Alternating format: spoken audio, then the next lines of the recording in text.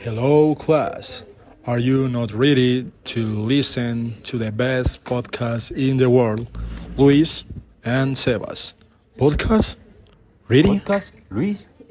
Ready? Ready, go. Probably not, but there we go.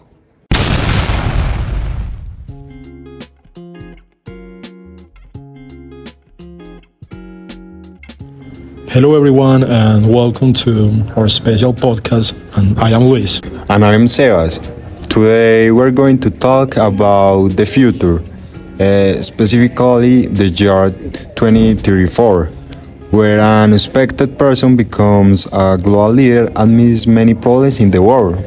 Exactly, Sebas. Uh, we find ourselves in a world full of problems and divisions where traditional leaders aren't do, doing a good job of solving them. Yes, but then some new comes along with a very different idea. They promise is government with love, empathy, and respect. Yes, and they do new things like improving education and healthcare for everyone, and also taking better care of the, of the environment. Yes, bro. And people uh, all over the world support them because we all want the same thing a better world. Yes, yes. Over time, uh, their way of living changed the world in, in incredible ways. Uh, there is not that much fighting and violence, and more countries work together. Just under their leadership, the world comes together to solve a big problems like poverty and human rights. Yeah, by the year 2034, they are already considered one of the best leaders there has been.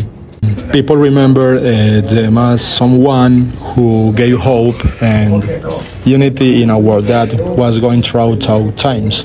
Mm, even though they're no longer in office, their influence continues to inspire many people to work together for a better world. Yes, and uh, to achieve that, they propose six important things like teaching empathy from a young age and promoting peace instead of violence. Yeah, so we look forward at an exciting and hopeful future.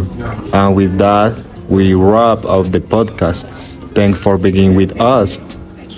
Yes, thank you, everyone, and see you in the next episode.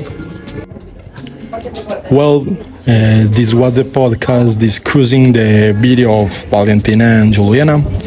We find it a very interesting idea to see the positive side that a benevolent dictator, dictator can have.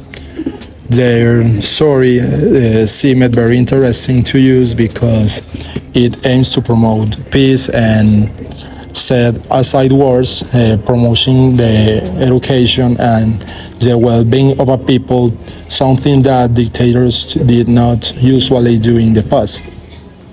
Yes, Luis, yes. Uh, yes, you are absolutely right.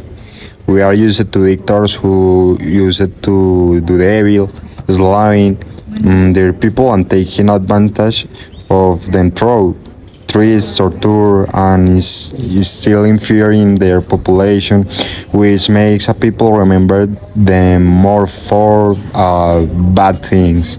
Mm, They did rather than any good they may have done.